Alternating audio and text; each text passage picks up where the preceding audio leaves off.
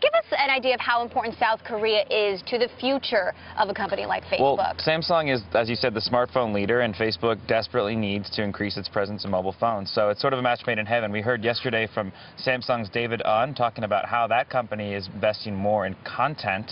Um, so it makes sense for both sides, I think. And it's interesting, Mark Zuckerberg wore a suit for the South Korean president, but a hoodie for the executives there at Samsung. Samsung was, of course, one of the first to offer a Facebook home phone. You know, how does this play into Facebook's plan for the future, especially given the mixed reviews of that phone so far? Well, so Facebook doesn't have its own mobile phone. It doesn't have its own mobile operating system. So it's a very important for this company to to the most to best of its ability to play phone makers against one another. You know, back in back early in its history with Apple, there were talks about tensions with Apple. Well, what did what did Facebook do after that? They went and they buddied up to the Android operating system. Um, so I think what we're seeing, as you said, the Facebook Home operating system maybe not taking off as as fast as they expected. Maybe that they want to do a closer integration with Samsung to try to you know improve that and build build a new version of Home. Now there's a Facebook event coming up this week on Thursday. We're hearing a lot of speculation about what it could be Instagram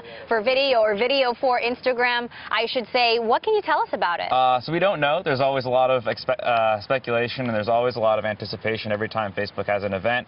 It's usually some kind of significant product. Um, so there's two leading theories. One is perhaps, as you said, a video product to compete uh, with something like Twitter's Vine, maybe some kind of short video upload. Um, and, you know, Twitter's Vine has had enormous popularity since they launched that just a few months ago. The other other theory is that perhaps Facebook wants to do some kind of news reading service, similar to a, uh, a Flipboard. that lets you kind of, uh, you know, elegantly, visually skim through the news. So we don't know which one it is. Um, you know, either one of those would be probably compelling products and probably, you know, cause a lot of startups and a lot of, you know, competition to react. But we'll have to wait and see for a few days.